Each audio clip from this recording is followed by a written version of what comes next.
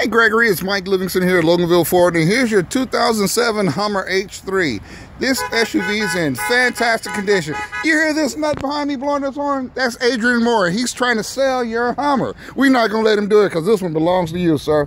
When you get a chance, give me a call, 678-539-7846. Once again, my name is Mike Livingston. I'm here with Loganville Ford, and we're just doing a quick walk around of your new Hummer.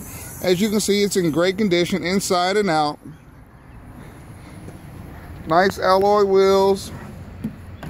Windows have already been tinted. The leather's in excellent condition, front and rear seats. It does have the sunroof. Navigation has been installed in it, heated seats.